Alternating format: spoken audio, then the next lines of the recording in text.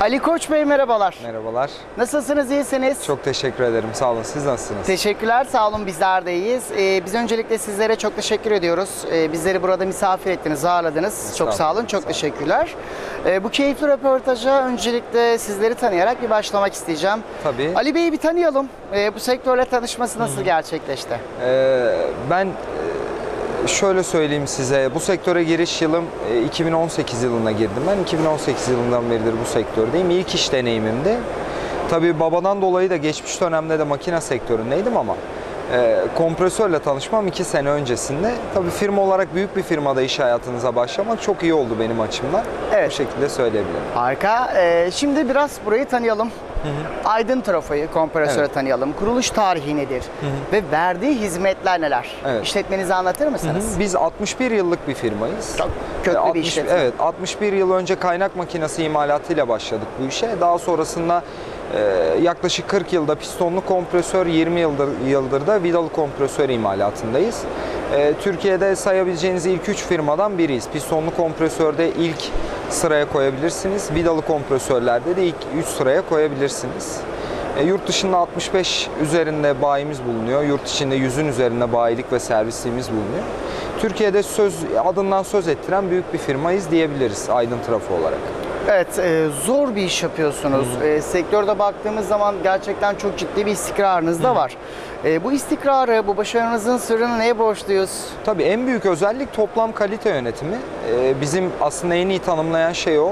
Firma e, yaklaşık 40 sene önce vidalı komp- bu pistonlu kompresörlere başladığı zaman çok kaliteli ürünler üretme felsefesiyle çıkmışlar ve ilk ürettikleri kompresörlerin hala çalışıyor olması da çok iyi bir referans tabii ki firma için. İlk başladığı yıllarda ürettiği kompresörleri hala insanlar 2021 yılında kullanmaya devam ediyorlar. Tabii bu mükemmel bir referans. Ee, Bunun tek sebebi kaliteli hizmet anlayışı, iyi servis hizmeti, yedek parça destekleri.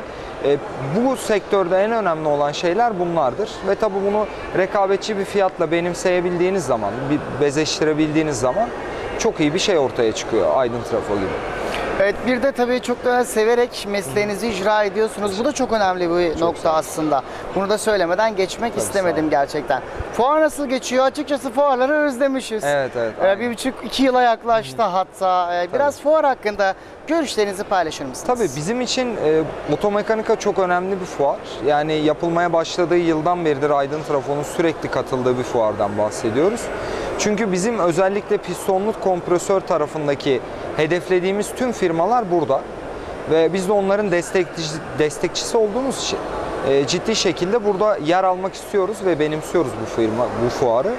Tabii biz de çok özlemişiz. Özellikle yurt dışından katılım çok iyi. Ben de firmanın yurt dışı satış temsilcisiyim. Yurt dışından katılım çok iyi. O bizim için çok iyi oldu. Şu anlık çok iyi. İlk gün için çok mutluyuz fuarda. Evet gerçekten çok kalabalık, yoğun bir fuar. Bizler için de çok e, önemli bu çünkü bunu söyleyebiliriz. Peki e, şunu söylemek istiyorum. Ekibiniz var bu işle alakalı. Personel kadrosu çok önemli Evet. çünkü. Kaç kişilik bir ekip var bünyenizde? Şöyle bizim yüzün üzerinde çalışanımız var firmamızda. Biz tabii grup firmasıyız. Dahil olabilecek 2-3 tane daha firmamız var. Özellikle en büyüğü Alkın Kompresör.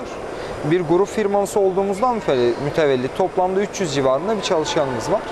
İki ayrı fabrikada. Bu şekilde işlem Ciddi bir istihdam sayısı. Çok ederiz. da mutlu olun. oluyorsunuzdur tabii bu istihdam sayılarını Tabii. yakaladığınız zaman. Peki burada Aydın Trafo Kompresör hedeflediği yerde mi? Ya da bundan sonraki hedefinde ve projelerinde kısmetse tabii ki de neler olacak? Tabii şöyle biz hedeflediğimiz yerde değiliz. Yani şöyle hedeflerimiz çok büyük. Özellikle bizim e, şirket patronlarımızın hedefledikleri kısım özellikle ihracat payımızı çok ciddi şekilde arttırabilmek. Bizim için en önemli şey o. E, yurt dışında bir nebze bunları başarabildik ama dünyada özellikle isminden söz ettirebilecek bir firma olmak istiyoruz uluslararası piyasada. Ki böyle bir Türk firması şu anda daha bulunmuyor. Türk firmaları da bunun için rekabet içindeler zaten.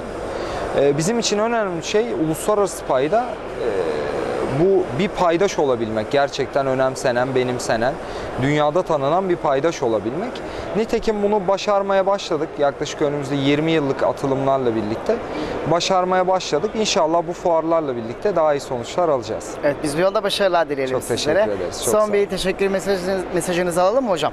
Buradan neler aktarmak istersiniz? Buraya gelen standa sizleri ziyaret eden misafirlerinize, ekran başındaki izleyicilerimize E, tüm Türkiye aslında. Tabii şöyle yani bu işi yapan herkes için e, fuarlar çok kıymetli, çok özenli yerler.